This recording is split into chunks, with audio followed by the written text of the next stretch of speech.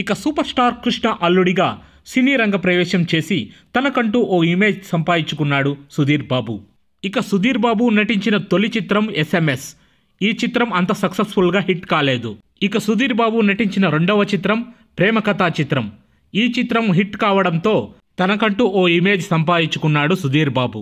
ఇక రీసెంట్గా రిలీజ్ అయిన Sudheer Babu hunt cinema cinema థియేటర్లోకి అలా వచ్చి అలా వెళ్ళిపోయింది. దాంతో సుధీర్ బాబు ఓ మంచి కథతో ప్రేక్షకుల ముందుకి రావాలి అని ఇక సుధీర్ బాబు మామా మచ్చేంద్ర అంటూ ఓ వెరైటీ టైటిల్తో ఓ సినిమా చేయబోతున్నాడు. ఇక ఈ చిత్రంలో దుర్గా డీజే పరశురామ్ అంటూ మూడు విభిన్నమైన పాత్రల్లో నటించబోతున్నాడంట సుధీర్ బాబు.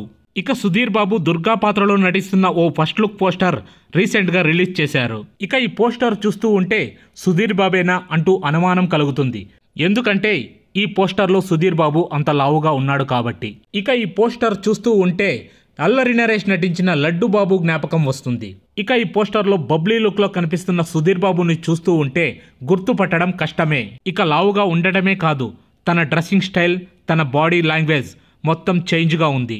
ఇక సుధీర్ బాబు ఈ క్యారెక్టర్లోనే ఇలా ఉన్నాడు అంటే మరో రెండు క్యారెక్టర్లు ఎలా ఉండబోతున్నాయో చూడాలి. ఏది ఏమైనా సుధీర్ బాబు నటిస్తున్న మాయా మచ్చేంద్ర చిత్రం డిఫరెంట్గా ఉండబోతుంది అని తెలుస్తూ ఉంది. సో ఫ్రెండ్స్ మా వీడియో కనుక మీకు నచ్చినట్లయితే లైక్ చేయండి షేర్ చేయండి కామెంట్ చేయండి. అలాగే మా ఛానల్ని సబ్స్క్రైబ్ చేసుకోండి. Thanks for watching.